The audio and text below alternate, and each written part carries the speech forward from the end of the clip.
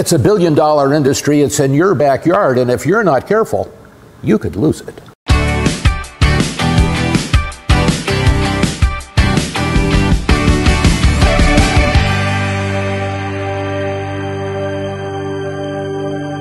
Talk a lot about citrus in the state of Florida. You know it is a billion dollar industry and everybody has a citrus tree. Some years ago, the state decided that, well, we didn't need too many citrus trees or we had too many or there was, oh, who knows, all kinds of crazy politics. But today, we have a serious problem and it's in your backyard, more than likely anyway, and it's called citrus greening. It's caused by a little tiny bug that got here by way of Asia and it's really going to have a major impact on what you do with keeping your tree alive and healthy.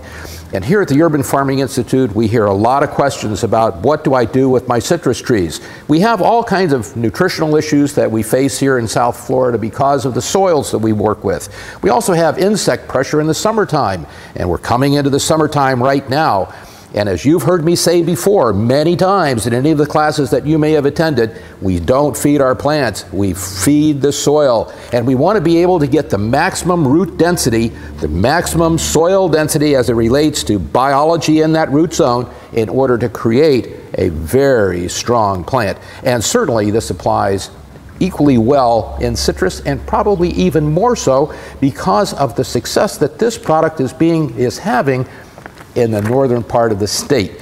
This is a great product. We just got it yesterday, and it was brought in by Friends of the Farm, Chris Dutton, and Louise, Wheezy's Gluten Free Kitchen. called the famous 374. Come in, take a look. We have all kinds of good stuff with regard to this product.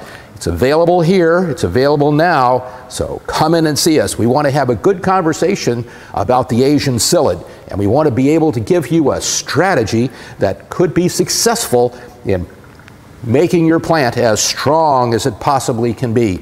Good nutrition, good plants, strong root development means a better uptake of nu nutrients into the plant.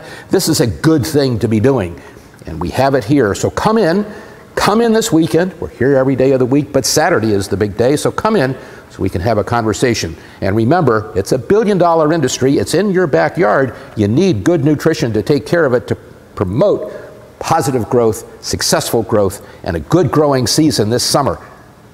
Until next time, Jon Albee signing off for the Urban Farming Institute. See you soon.